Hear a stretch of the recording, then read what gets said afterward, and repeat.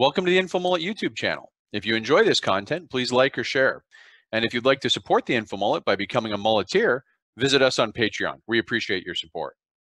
Um, question four was uh, pretty simple. It was uh, the forecast was Does impeachment cost the Democrats the House?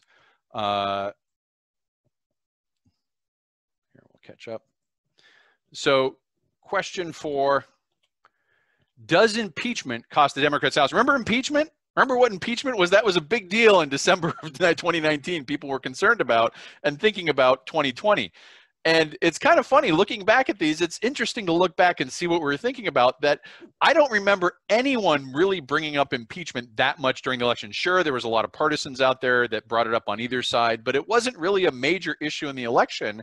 And my forecast was that no, this wouldn't hurt the Democrats in terms of the House.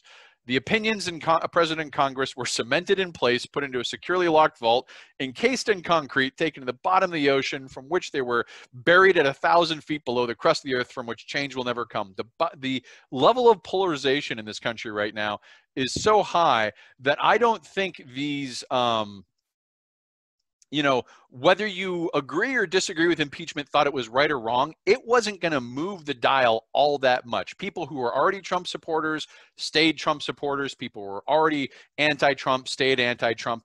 And I may, correct me if I'm wrong. I didn't see it as being a major issue in the election. It was overtaken by everything else that happened from March forward, as opposed to what we thought would be the big story of 2020 would be the impeachment in January, and it kind of ended up being a nothing burger. Thanks for watching the video. Hope you enjoyed it. If you'd like to follow the InfoMullet, visit us on Facebook or Twitter. And if you'd like notifications when we post new video content, click on the red subscribe button below the video. If you've ever wanted to become a mulleteer and support the InfoMullet, visit us on Patreon. We appreciate the support.